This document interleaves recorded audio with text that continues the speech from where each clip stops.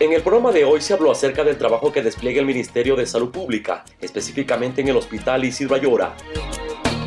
Este centro de salud con cobertura que abarca la ciudad y la provincia de Loja, Zamora Chinchipe y parte del Oro, cuenta con una nueva infraestructura y áreas tecnológicas que contribuyen a la atención que se brinda a los pacientes. Juan Carlos Ramón, coordinador zonal 7 del Ministerio de Salud Pública, dio detalles de la repotenciación integral que se realiza en esta entidad de salud.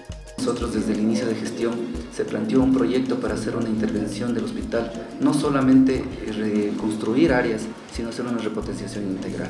Parecía un sueño, una utopía, pero eh, con el apoyo del gobierno nacional, obviamente con nuestra señorita ministra Karina Vance, se logró la aprobación de ese proyecto y la aprobación de todo el presupuesto para hacer. Ya hemos terminado algunas áreas del hospital, estamos en progreso de otras. Eh, estamos ya por terminar lo que es quirófanos, centrales de esterilización.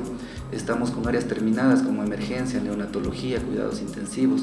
Pero nosotros no podemos aperturar sus servicios porque tenemos intervención integral. Junto a esto estamos construyendo y no podemos arriesgar eh, biológicamente a los pacientes que podemos ingresar ya. Eh, estamos ya con el equipamiento comprado, se han hecho inversiones tan fuertes como por ejemplo solo en el año 2012 y 2013 se invirtieron más de 9 millones de dólares. En, en, el año 2013 y ahora en el año 2014, a inicios de año, se firmó un contrato complementario de más de 10 millones de dólares, lo que quiere decir que se ha invertido hasta el momento 20 millones 259 mil dólares hasta la fecha ya invertidos. Obviamente estamos haciendo la compra de equipamiento nuevo, que sabemos que no vamos a aperturar con el equipamiento que tenemos. Todo el equipamiento de la intervención será nuevo. Estamos ya actualmente con la el proyecto de la adquisición de lo que son eh, quirófanos. Obviamente tenemos entre estos quirófanos inteligentes eh, los que nos ayudarán para la formación de nuestros estudiantes ya con, para poder seguir las cirugías en video en auditorio independiente. Eh, es un proyecto realmente ya para una universidad, para una ciudad universitaria como la que tenemos, sabiendo que nuestro hospital es un hospital docente. Está aproximadamente la inversión en lo que es quirófanos, central de esterilización, el resto de equipo que nos falta de neonatología, y centro obstétrico en aproximadamente 9 millones de dólares. Estamos ya eh, terminando lo que es el estudio del diseño integral de la parte antigua del hospital.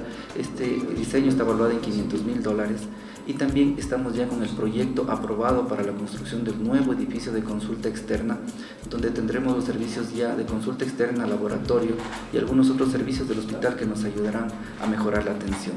Esto está evaluado 15 millones de dólares en lo que es infraestructura y aproximadamente el mismo monto en lo que son los equipos nuevos, tanto de consulta externa como de laboratorio. Asimismo, estuvo presente el doctor Pablo Morocho, beneficiado del proyecto Ecuador Saludable Vuelvo por ti, Resulta muy positivo esta gran voluntad en el sentido de que se puede hacer un, cambio, ¿no? Eh, hay muchos profesionales, a lo mejor no fue mi situación personal, pero hay muchos profesionales que se encuentran en otros países, eh, a lo mejor con, con, situaciones un poco más complejas y que se les dé el chance o la oportunidad de acogerse a este programa. Creo que resulta muy positivo el hecho de volver, acoger, estar cerca de su familia, poder trabajar y laborar como especialista dentro de la rama que se haya formado de esta manera se cumplió el enlace provincial Loja Habla. Avanzamos, patria.